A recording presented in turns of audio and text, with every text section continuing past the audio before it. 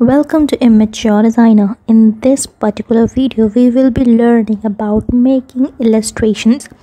So you can see that this particular image, this beauty, beautiful image, I found this one from Pinterest, right? And this thing is here, here, which looks much more prettier. This one is my art. So by from this particular image i have made this illustration. So this means that you can make illustration of anything that you see on pinterest. You like to make cartoons you like to do illustrations and you can do this just in 5 to 10 minutes in figma. And there's this very interesting thing. If you can make different illustrations. You can do this interesting thing. I clicked here. And this is this drop down. From here i'm choosing voice speaking character and it changes. So how i just did this dropping thing for that i have created a video previous to this video.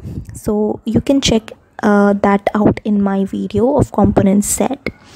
But in this particular video i'll be teaching you how you can easily make illustrations from an image it's not that easy but it's not very difficult as well. So just teach one thing. First of all what you need to do is just take the image bring that image from pinterest copy it and paste it over here. You get that image over here. Then the first thing that you need to do is that you need to lock this particular thing.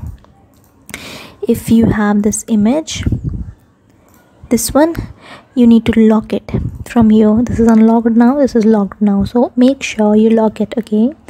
After locking it after locking the particular uh, image let's show you one thing. So this was the real image and then this was my illustration over it which looks much better i suppose. Yep it looks much much better so from this particular image that i had i created this on that particular image. So what i did was that i can show you from over here in my this thing.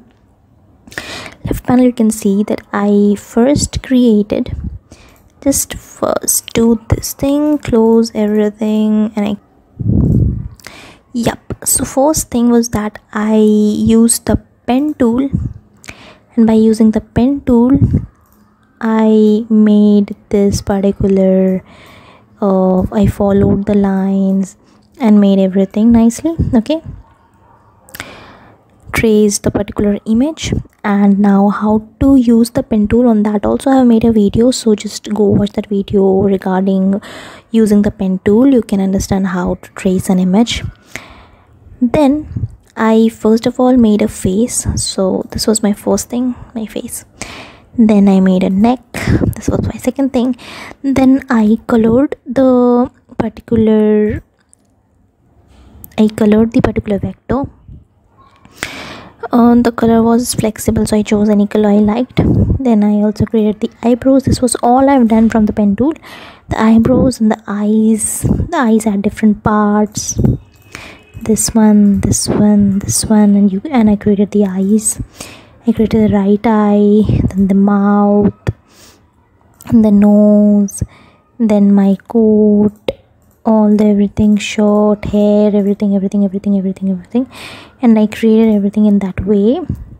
So I basically traced everything from that particular image, which is not very difficult. It will, I, I, if you are very, if you can easily use the pen tool of Figma, then making these kinds of illustration is a five to ten minutes work so you can refer my pen tool video you can refer my another video regarding this component set if you want to go deeper. And that's how i made this particular illustration. Then i made three of them change the emotions and yep it's done. So i hope that this video helped you